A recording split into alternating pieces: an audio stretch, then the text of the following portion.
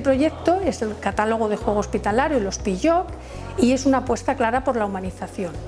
¿Vale? Pretende ser respetuoso con los derechos del niño, porque el niño hospitalizado tiene derecho a jugar dentro del hospital, y también pretende cuidar las necesidades emocionales que tiene el niño durante su ingreso. Eh, de alguna manera, el juego puede ser una buena herramienta para informar y para preparar al niño ante procedimientos, ante un ingreso, ante una intervención o ante cualquier prueba.